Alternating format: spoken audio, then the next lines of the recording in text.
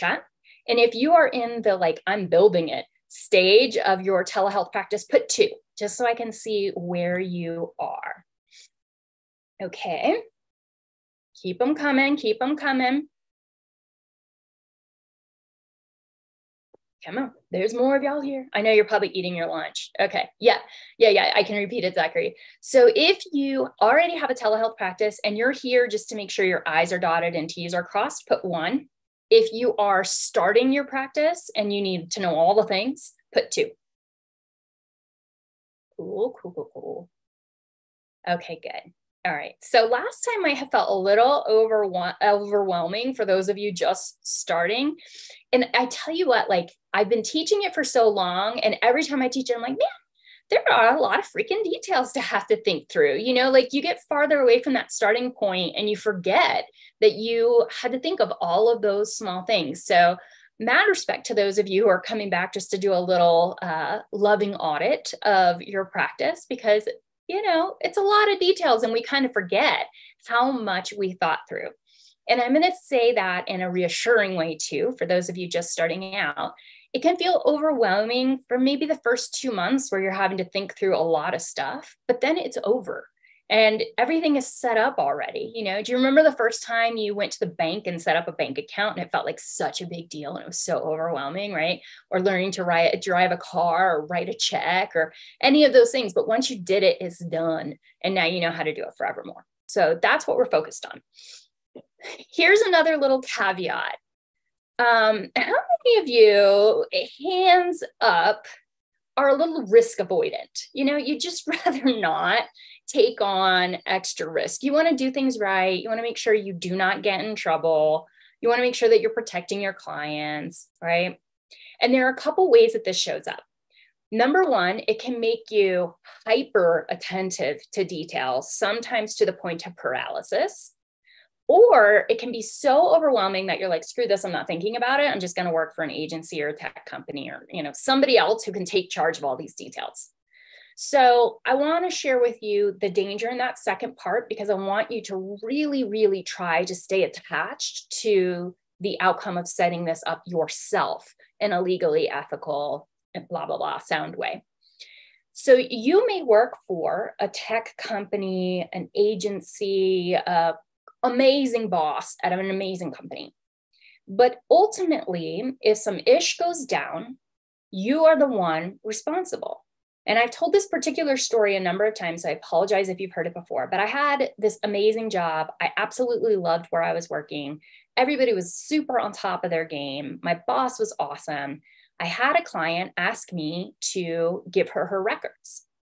And I was like, oh, I never really thought about having to give over the records. You know, I was like brand new into being an adult with a license. And so I asked, I went to our policies and procedures manual and it said, give them a summary, don't give them the records. I was like, okay, cool, I'll do a summary. So I tell her this, and she's like, no, no, no, no, I don't want a summary. I want the records. I want all of the records. And her rationale, when she explained it to me, made total sense. Like, I got it. I was like, yeah, yeah, yeah, that makes sense why you would want them. And so I went to my boss and I was like, so what's the deal? Because it says that we don't give them um, but she really wants them and it makes sense for her to have them. And, and he was like, yeah, we don't do that. I started feeling kind of funny about it. So I started looking up the state regulations. And what the state regulations said in that state was that the records belong to the client, not to the agency. So if she wanted her records, she was legally allowed to have her records. So I went back to my boss and he was like. So ultimately, like I could have been the conduit saying, no, I'm not going to do that. And then I am also the one legally responsible because it's my license. It doesn't matter. I can't say, well, my boss said or the agency said. Some of you who are working with tech companies, and no shade, but they will yet you need to understand that they do not have the same legal responsibilities that you have as a health provider with your license so they can set up their policies and procedures that are in line with their regulating bodies, but not yours. And I'll give you a very specific example. If you download the terms and services for therapy clients with some of these tech companies, you will find very clearly articulated breaches in confidentiality, selling of protected health information, all that stuff, it's in the terms and services that nobody reads. That's because they are not bound by the same legal stuff that we are bound by because they don't have licenses, not our licenses. So if you go to work for them and you're thinking, well, they've got tons of money, so they must be doing things right. Mm-mm. They're doing things right by their bosses, not by your bosses. Does that make sense? Let me see some head nods. Okay. So when we think about your bosses, remember last time we talked about you have your professional code of ethics, which is aspirational, print that shit out, highlight it. You have your state or your country regulations. And the way that I get these is I write to the board because sometimes they're smattered across lots of places. And I say, Hi, I'm a licensed psychologist in North Carolina and Florida. Could you please send me the links to all of the regulations that I should be aware of for my practice?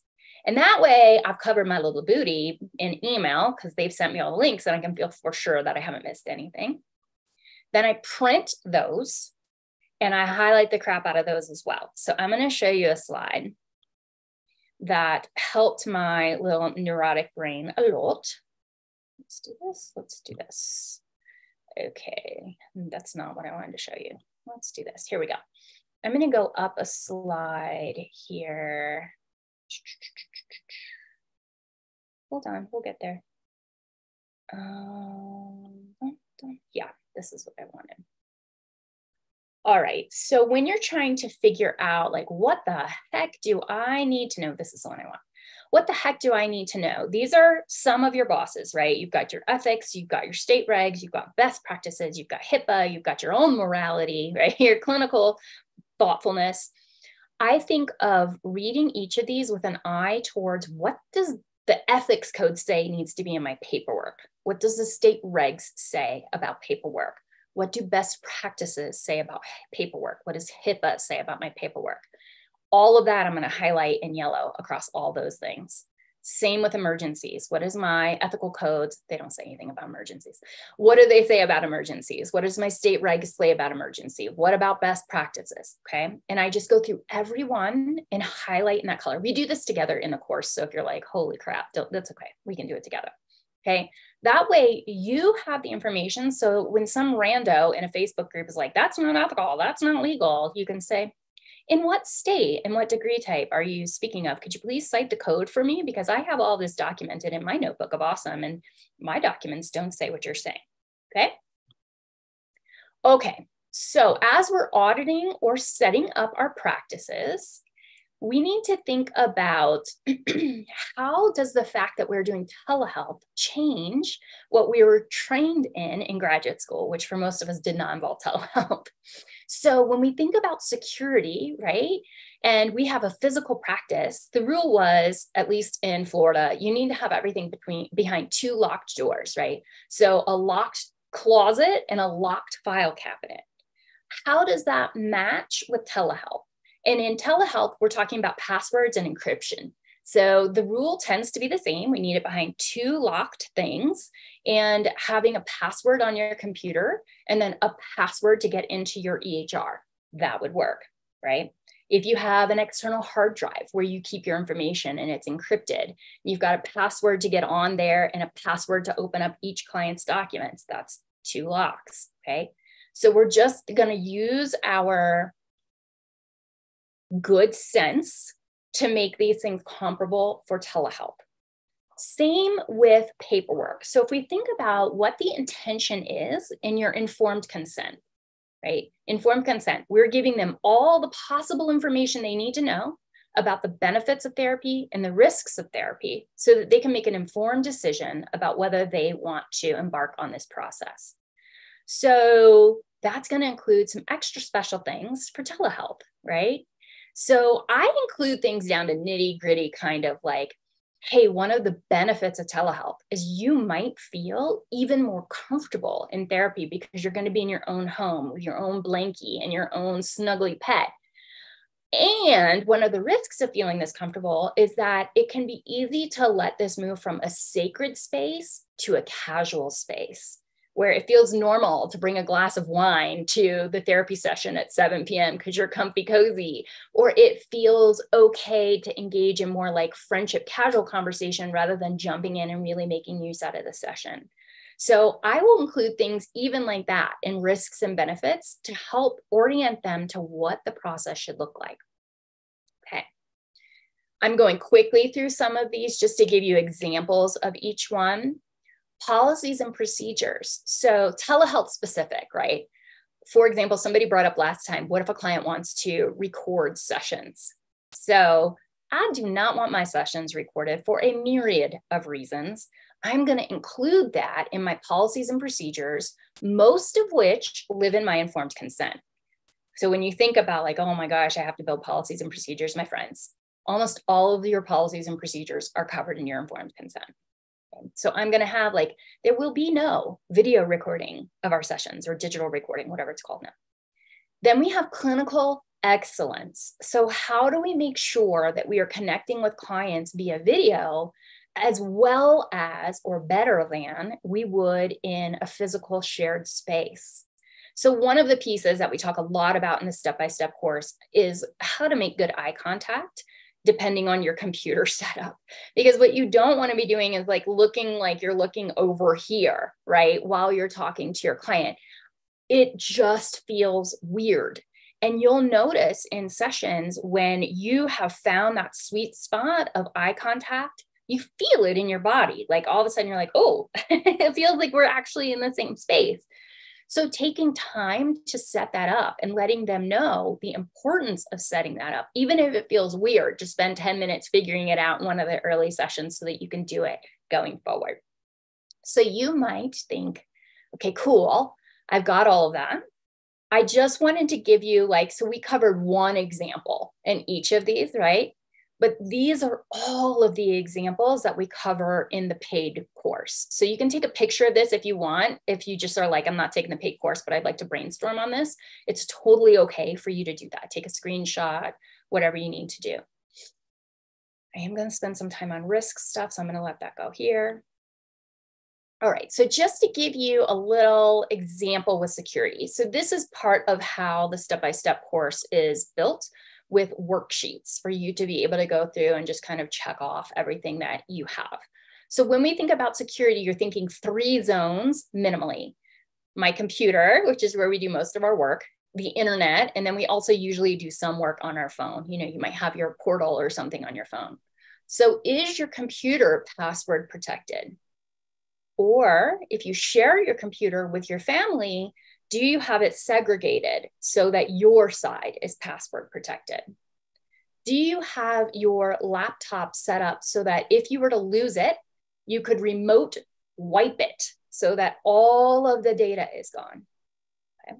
These are things that you should be thinking about in the setup process. If you have clients' information in folders, are you password protecting each of those folders? Okay. Tricky wicket one. And I, if y'all use a backup system, like for example, I have Google Docs or Google Drive backs up all the files on my computer. And I had that set up before I started doing therapy. And it didn't even occur to me in the beginning, like, oh crap, it could be backing up client files into Google Drive, which at that time was not HIPAA compliant. And so then I, you know, went down a YouTube rabbit hole like, oh crap, how do I make sure to not have it back up these specific files? So we're literally just thinking through the minutia. With internet, we are always using password protected Wi-Fi, always, not just open Wi-Fi. And you know, you can look at VPNs which secure your Wi-Fi. Like I travel a lot, so I am going to be in coffee shops working, writing notes, or you know, I might be at an RV camp and there's Wi-Fi, it's password protected, but everybody in the whole RV park has the password. That is not going to be super secure. So in those cases, having your own VPN, which are super cheap now, is a good idea. Now, listen to this one. I have to include this in the free training because I I can't tell you how many screw ups have happened. I tell my clients, and it's in my informed consent, to turn off all listening devices. I would prefer that they have their freaking phone off because you know that love you Facebook, but you Facebook is listening to all the things, which is why you get those amazing ads because they were listening. I was just no joke, y'all, watching YouTube videos of um, gosh, now I'm gonna forget the name. It's a it's about a huge dog Irish wolfhounds. I was watching YouTube videos last night about Irish wolfhound puppies and are they snuggly? Literally, my YouTube search. I didn't say anything out loud about it, but Facebook the next day, next day is feeding me ads about Irish wolfhounds. Okay. So your internet is listening. And that might not seem like that big of a deal because the internet's listening to lots of things. And you're like, I mean, like, what are the chances that they're going to give a shit about what's happening in your therapy session and then put it out in the world? But listen, I had a situation where someone had one of those Nest cameras and um, it was on. This person was at somebody else's house doing their therapy session, didn't think about that they had Nest cameras, that the Nest cameras were on. The Nest camera recorded them saying very private things that then this other person was able to listen to, right? Freaking scary stuff. So please make sure that we have conversations about shutting all of this off. It may seem paranoid, but I mean, I have Googled some weird stuff and it's shown up on my Echo grocery list. So, you know, it's just creepy and we don't want our clients' information shared there. Okay, phone. I'm not going to get into the weeds here, other than I do want to highlight this one. Um, you know, if you're on your phone and you're in your email, for example, and your client has sent you a document, and you open that document in your email on your phone, it is typically saving that to the file section of your phone, which you probably don't have set up to be secure. So I would just set it up to not save anything to my phone, or I wouldn't open documents from email on my phone. And when you open it, like just think about when you open something on your computer and it goes to the file section or the documents or the download section. That can happen with client information. So you just want to be careful about that. All right. And we go into deep dives. You know, these are just like the top of the list for each of these areas. We go into a deep dive on each of these in the course. All right. These are areas that we're going to adapt for telehealth. So we do adapt our informed consent. We've talked about that. I adapt my um, releases of information and emergency contacts this could just be total paranoia on my side, but I just think like if I were in a physical office and my client started having a seizure, I would be in the room to at least support them to not bang their head into something.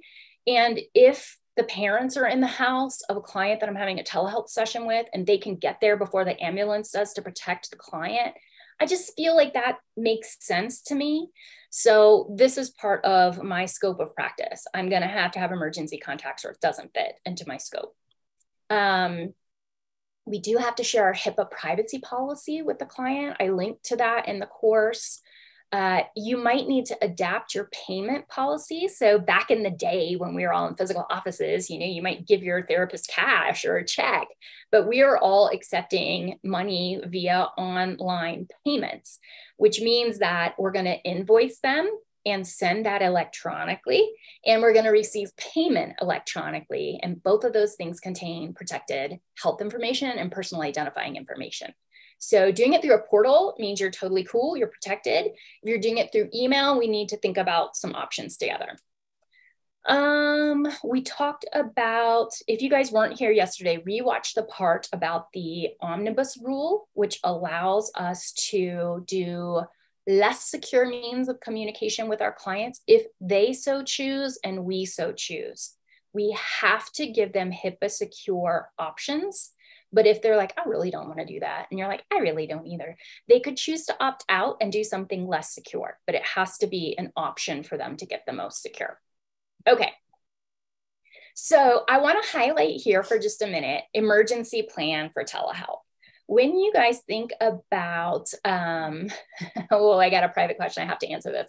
How do you handle if a client joins a car with others during a session is not using headphones. Yes. Well, I've had that very thing happen, my friend.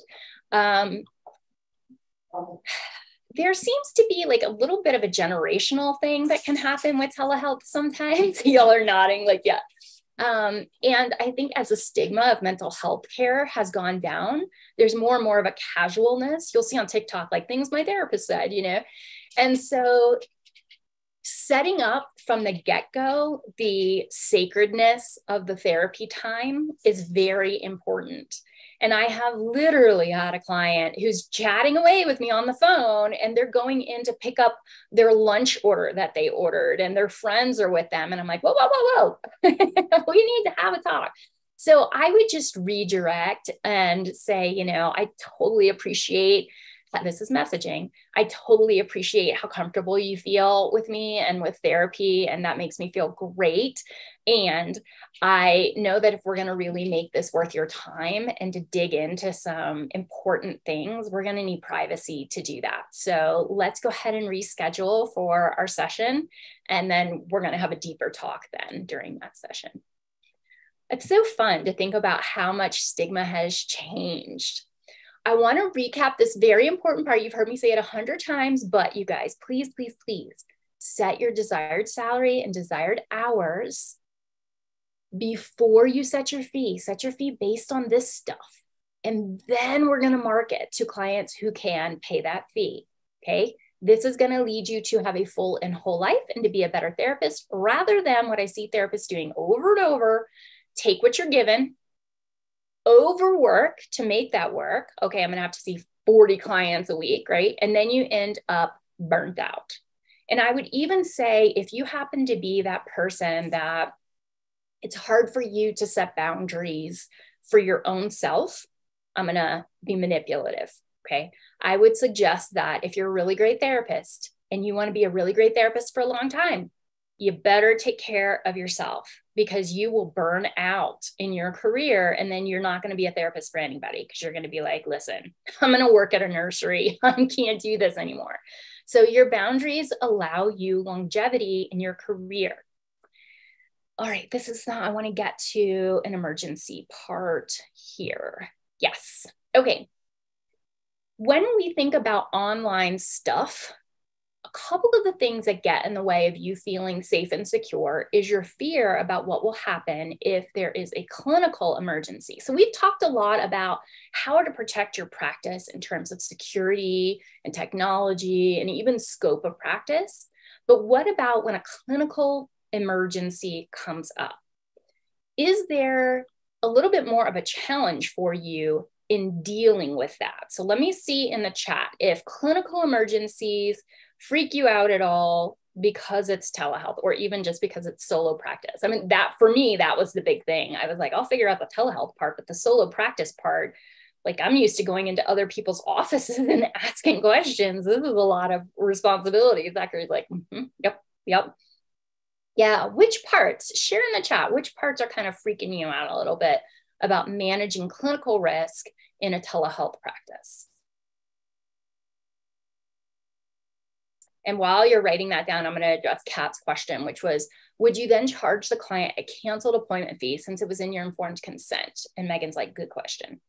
So I think we all have to set up our late cancellation policies to align with our theoretical orientation and the way we run our practice. So I'm kind of down with whatever works for you in my practice, I've intentionally kept my caseload very small. So I'm seeing, you know, when I was in practice, I'm not right now, I was seeing 12 to 15 clients max a week when I had my practice in its sweet spot. So if somebody canceled, it wasn't a big deal to reschedule them. I had a lot of free time that I could put them into. So I had a late cancellation policy, but I never had to enforce it. So the other piece of that, because my clients really didn't cancel late much of the time because we really talked about the sacredness of the therapeutic space. We really set that tone, right? But the other piece is like, as somebody with migraines and other issues, health issues, sometimes I would need to late cancel. And it didn't feel okay to me to late cancel on my clients and then charge them if they late canceled on me. So it felt like we had a very we were all on the same page, you know, with what the standards were. And if I saw it becoming an issue with a client and it was being abused, then we would have that conversation clinically. And I would have in my paperwork to be able to be like, listen, I haven't charged you. And this feels like it's becoming a thing. So next one's free. But after that, we're going back to the policy. And I would set it up that way. Okay. Not having people in the office to consult on things as they're happening. Yes Uh-huh. Knowing where emergency services are near their area if I have to call for them. Yes.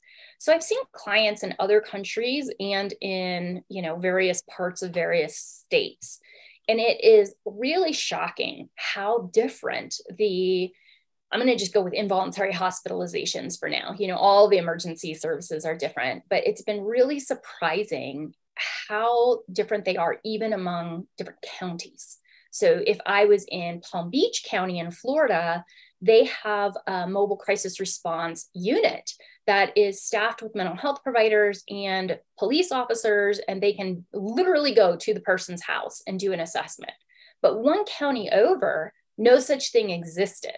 And so I would need to be the person that initiated the involuntary hospitalization. I would have to be the person in contact with the unit that they were being taken to.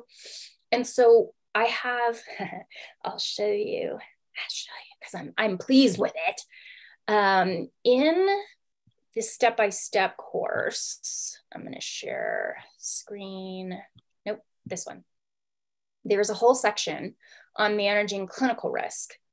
And it includes documents like risk to self. And I made this document based on Marsha Linehan's risk assessment based on, um, oh shoot, am I going to forget his name? It's a dude and he loves to talk with people about their suicidal pain. Ay, ay, ay. And he has a whole risk. Of, it's not Kobe. I'll think of it. Anyway, it's based on most of their research. Um, and then there's also this piece that can happen where we will involuntarily hospitalize somebody out of our own cover your assness. And even when we think like, oh, I think that this person is going to be okay, but I feel like I have to cover my butt by putting them inpatient. There's been a ton of research to show the other side of what are the resiliency factors of this person? What are the protective factors of this person? So that even if you've got lots of risk factors here, but intuitively, and maybe with some wisdom that's coming from research that you remember from grad school, you believe that they're not at current risk. This other worksheet gives you a list of things you can check off to be able to back yourself up. We also have in here violence towards others, safety plan templates, and how to protect your practice overall. The reason that I wrote all of that stuff out is because in the heat of the moment, if you guys, have ever been in one of those crisis situations, your brain is thinking about so many things at the same time that having those documents printed out and available to me, even just as a grounding tool, is super helpful. And so I can have the conversation with the client. It's really irritating me. I CAMS, the CAMS model, the collaborative assessment of something, something, something. Jobes is his name. Oh, thank you, brain. Thank you, thank you, thank you. So that would have bugged me late into the night. So it's easier to have a conversation than look at your worksheet and be like, okay, yeah, bam, bam, bam, bam, bam. I checked all of that stuff. Okay, I forgot to follow up on this thing. I don't know if you've ever been in the situation of handling crisis calls. Um, and then you got off the call and you went to document it and you were like oh crap i didn't ask this question and it's super important that i asked and then you have to make that weird awkward call back right?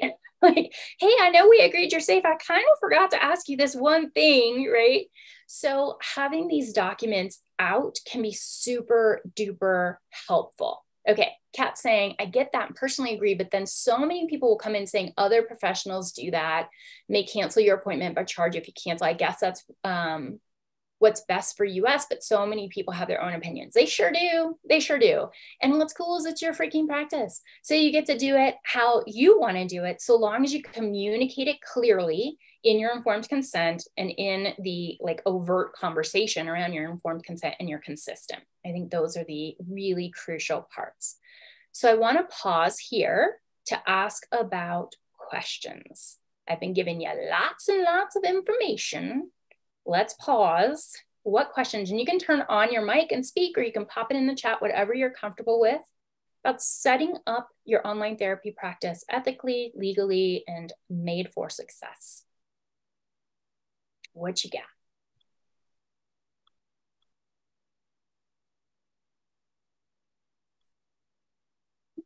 Mm-hmm. Do you feel like you know everything? Is that what's happening? I know, right? that chance. There is a checklist in the step-by-step -step course because I know like right now we're going through a lot of slides and it can feel like, holy majoli. there is a checklist so you can literally be like, did it, did it, did it, did it.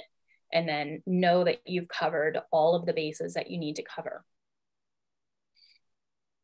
as I'm waiting for your questions to come in, if you have them, I'm going to just briefly speak about a slippery slope that happens in, I think, in private practice, period, but also in telehealth, which is the slide towards casualness. Because, you know, we're potentially in our pajama pants.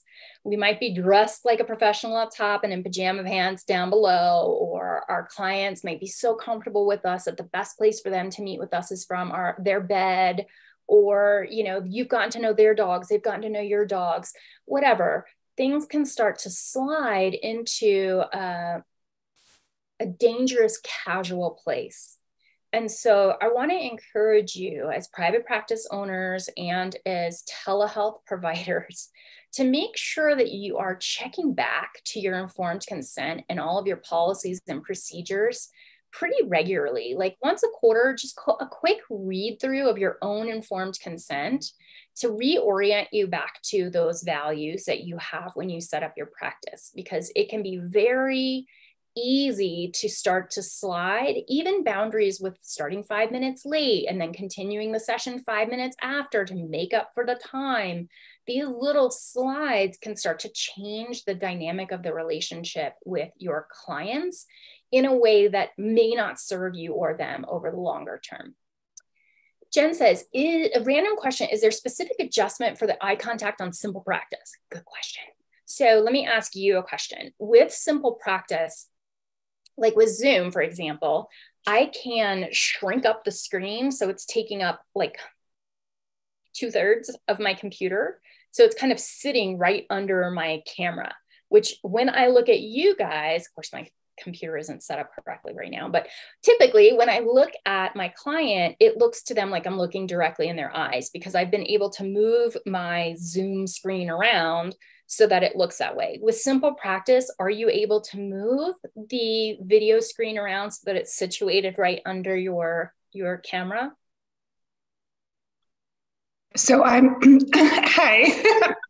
so I'm used to Zoom and I'm not used to simple practice yet. So I don't know if I can answer that. And okay. I think maybe I'm not looking directly at the client. so. Yeah, it's a bummer. For me, like that's a okay. So Jennifer's saying simple practice lets you shrink your video, but it does not let you move your video. Mm.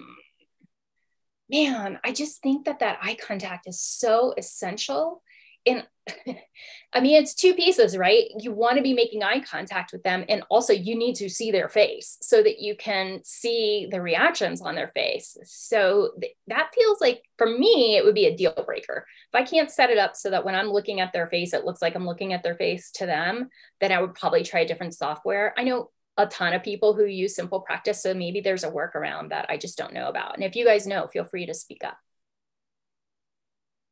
other questions about setup or about the course itself? Okay, I'm going to share some slides about the course mm, like this and like this so that questions can come up if you have them. The barriers that I see with people not getting their practice set up and running, because sometimes it's years in the making, right? Is stress about the money or the marketing. Both of those things we cover in the course. You don't have to be slimy, salesy in order to market therapy. It's one of the benefits of being in a service oriented field. We just get to do good things out loud and help people out loud, and we end up getting clients. The difference between what's in the step by step course with regard to marketing versus the marketing intensive is step by step is teaching you all the things with setting up a business, setting up practice. And it's a little piece, a mini course on marketing, whereas the marketing intensive is all marketing. In the very beginning of the course, kind of like I did in this retraining series, you're going to get a, a big, heavy dose of money stuff so, figuring out how much you need to make, how much you're spending, what your um, good, better, best financial goals are. All of that stuff happens in the beginning of the course. We talk money issues like money boundaries and also boundaries for your freaking practice. So you don't have to stress about those things. I think some people worry, especially in the past, that they're going to have to compromise their values a little bit to do telehealth. For example, uh, in the very beginning, I had a client that wanted to see me, I wanted to see her, but she really wanted to be seen in an office. And I did not want to have an office, but I have a little tiny bit of a people pleasing part of my personality. And literally, even though I left my jobby job to have a virtual practice, I literally started looking at renting office space to be able to see her. And then I was like, Amber, what are you doing? You are not the only therapist in the world. You do not have to see this person, right? Because I started to, uh, to almost feel like I worried that I would be coercive and be like, no, you have to see me in telehealth, right? But she didn't have to see me. So her choices were me with telehealth or somebody else in a physical practice. And ultimately, she decided that she would try three sessions of telehealth and see how it felt. And I was like, okay, that seems reasonable. And by the third one, she's like, I will never, ever go back to a physical office again. This is amazing. Right. So, you know, you don't have to compromise your values. You just have to be clear about what your values are and communicate them clearly to others. You do not need to see every client. There are other therapists who really need help filling their practice. Share the wealth. All right. And then the last piece, and this is the most, like the most common obstacle to people having their own practice, telehealth or otherwise, is the fear of messing up or getting in trouble. Right. And then you go into a Facebook group and you ask a question, and then it's, you know, very strong opinions with shared with no kind of sensitivity whatsoever. So we just want to make sure that you have the support you need, whether it's other clinicians or the step-by-step course or me that can answer for you. Am I allowed to do this? And, and which boss do I need to ask to find out if I'm allowed to do this? So you don't have to worry about messing up in a way that's going to get you in big, big trouble. The reality is, is that we will all mess up to some degree because it's impossible not to, right? The rules change. You know, you have to have started your documentation within 48 hours of seeing the client, but you need to have finished it within six weeks. Like these are difficult things to remember unless we are revisiting those regulations, you know, every year or so to make sure that we're doing what we're, we should do that as a retreat, a virtual retreat and just like y'all are like that sounds so boring amber that sounds really fun to me like a two hour block where we all read our state regulations once a year and like go through and make sure we're doing what we're supposed to be doing Oh my goodness. Uh, Miriam says, uh, is the marketing and suitable for a group practice? It sure is. Um, and, and I will say this, there is, um, when you're marketing yourself, it's so easy to get the messaging well not easy but it's easier to get the messaging clear about your ideal client because you are trying to attract someone to you. Whereas when you're marketing a group practice you're doing one of two things. Either your group practice has a very particular vibe and you're marketing that vibe like hey we treat people with this sort of anxiety with this sort of approach with this sort of vibe. Easy peasy marketing but if you have a group practice with um, people who with different niches or they're more generalist, then we need to market each individual person. And so we'll have a page dedicated to each person. I can get you some templates that you can use with your staff members to bring out of them the copy that's going to work best for their page. Does that make sense? Yeah, okay, good. Yes, yes. I know somebody who, and I don't recommend this, but she was mad successful at it. She's an anomaly. She has a group practice for people um, who specialize in treating folks with um, all sorts of different eating disorders, all, all sorts of different concerns. And her primary marketing vehicle is Instagram, which I think is amazing because Instagram is, of course, the social media place that people with this sort of condition are likely to go to. She has a huge presence and she brings in enough clients through that social media to fill the entire group practice. That is that is a very, very, very unusual situation. Most of us will not market like that. It's more of an influencer style marketing, which, you know, there's all sorts of pros and cons with that, but it's working great for her group practice. So it really depends is the practice uh, niched or do we need to focus on each person in the practice?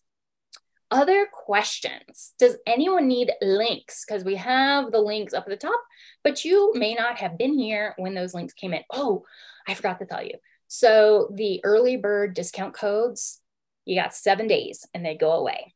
And you can save either $200 if you're getting step by step or the marketing intensive, or if you're leveling up to get additional coaching in any of those programs, you can save $400. So please, please, please, if you're going to purchase, purchase before that expires. You've got seven days. Um, I feel like there was something else related to that that I was going to tell you, but I forgot what it was. You can save additional monies if you want to pay in full between 150 and 300 dollars. Um, if it was me, I'd probably pick the payment plan because it can be six months or 12 months, depending on what you're purchasing. And you can just spread that money out over time. For most of you, it is a write off in your practice. So just consult with your tax person. You'll get an invoice for this. And in most cases, it's going to be a write off uh, that you can pull from your taxes. All right, just a few more slides and then we will move to wrapping up, but I'm also here for questions. Uh, Kat, is your question about the difference between step by step and the marketing intensive or step by step? Okay, yeah, okay. Yes, let's talk about it.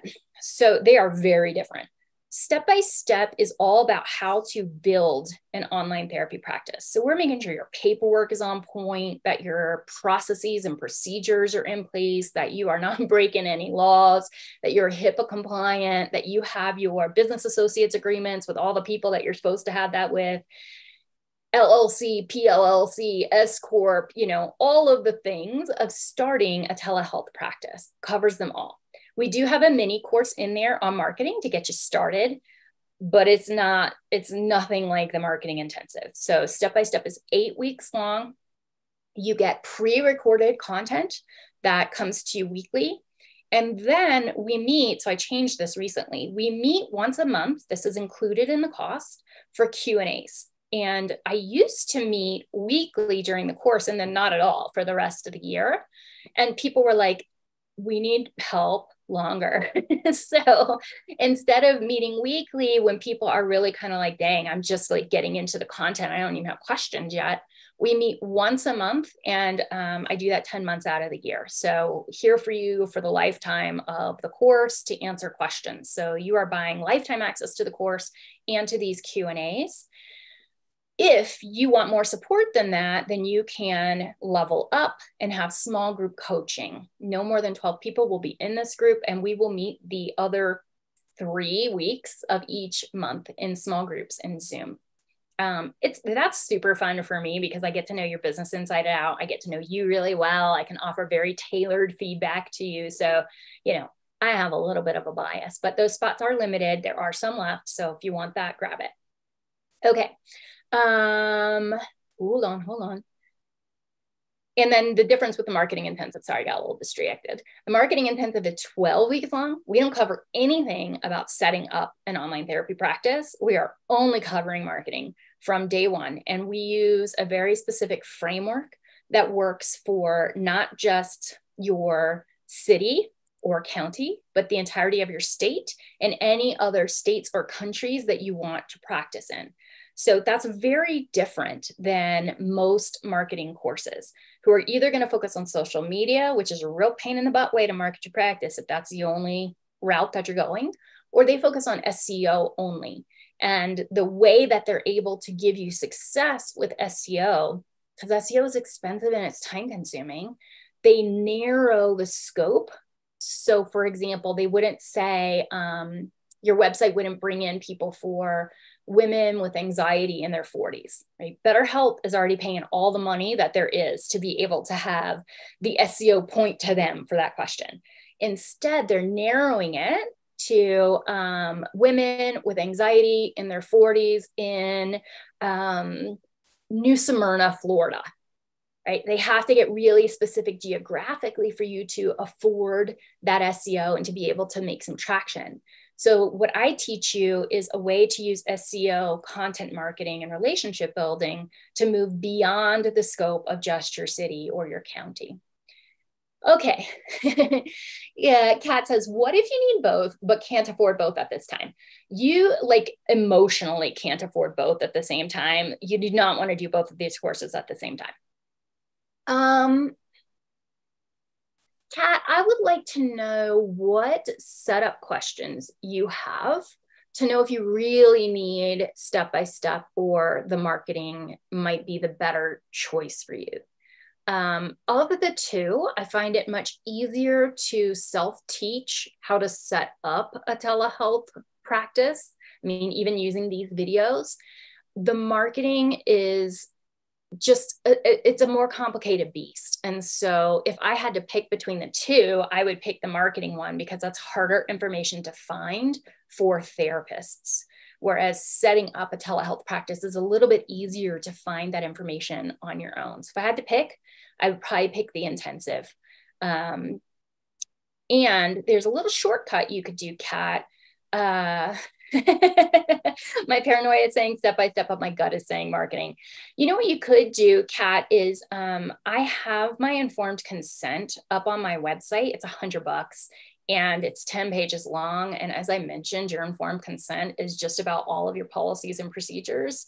So if you want to grab that to help with your paranoia and then do the marketing intensive, that might make you feel a little bit better. Let me know.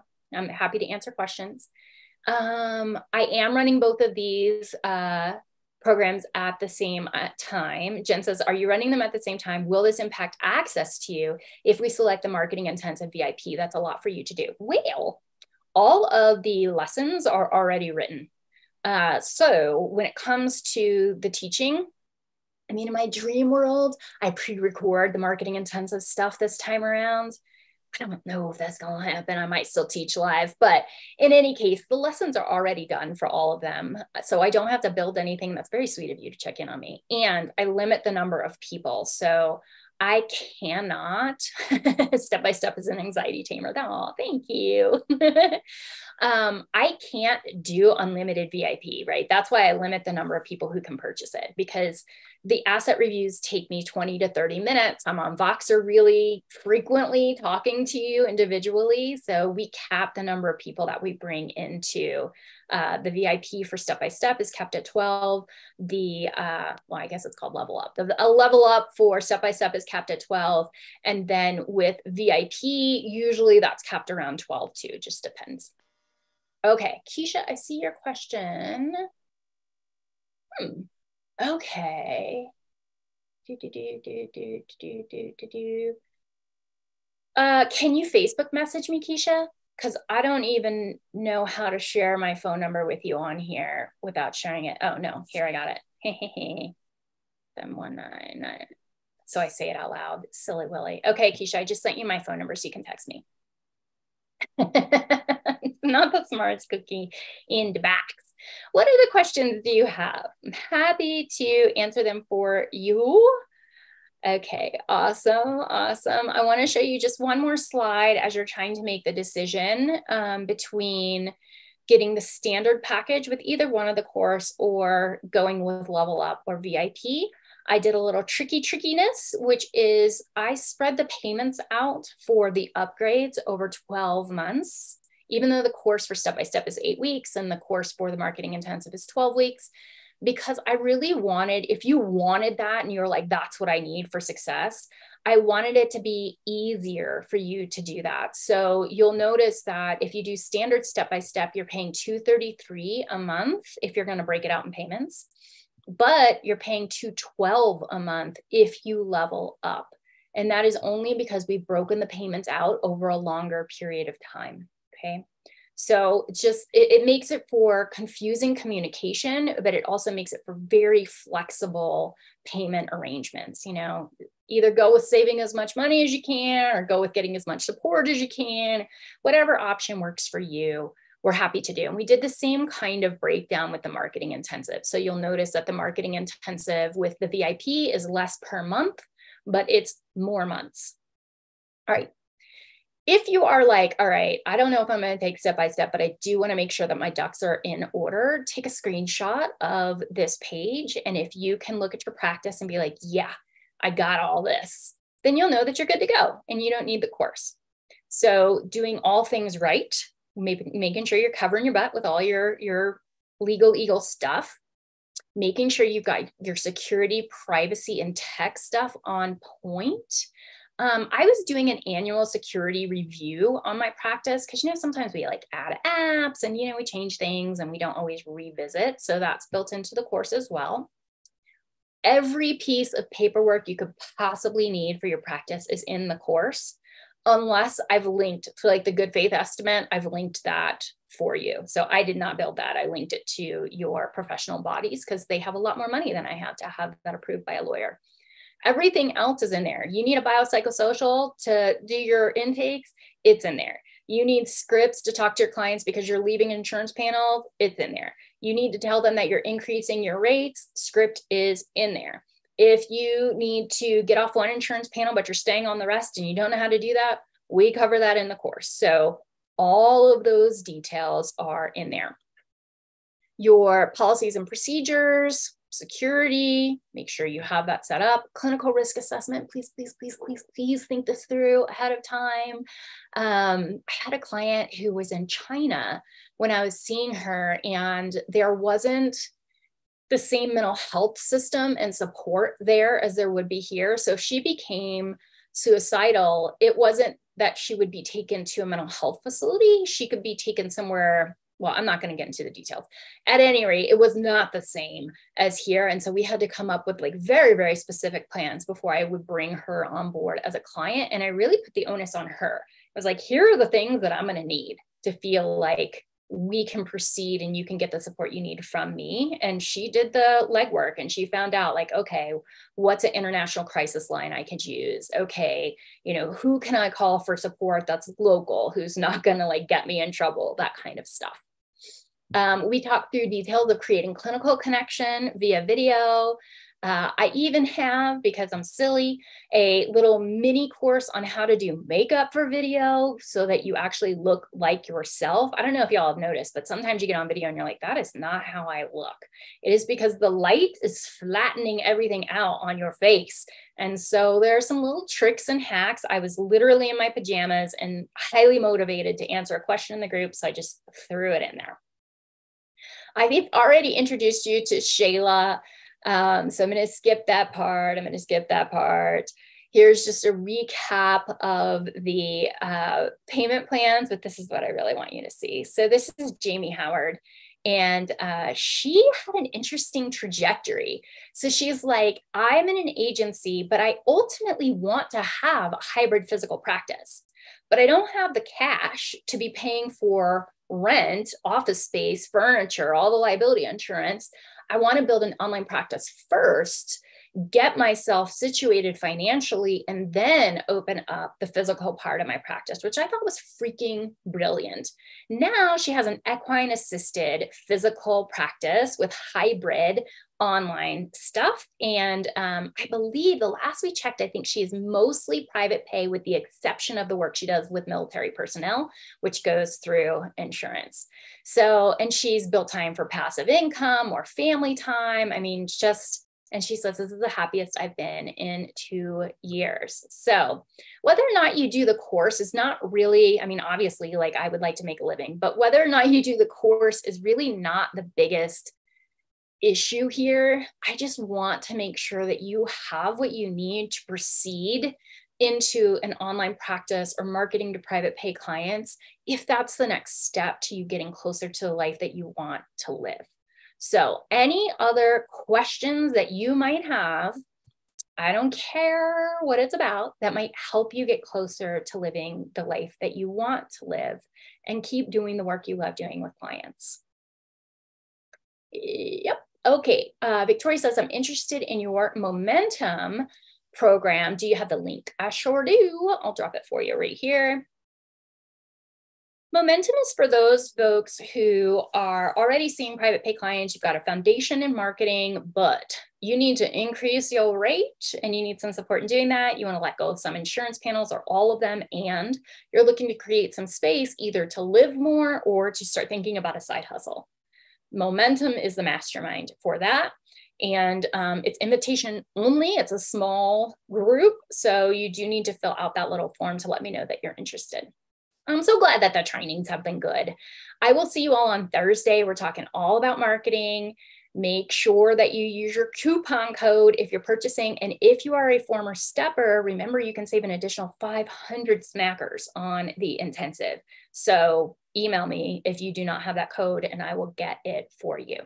All right, my friends, take good care. I will talk to you soon. Bye now.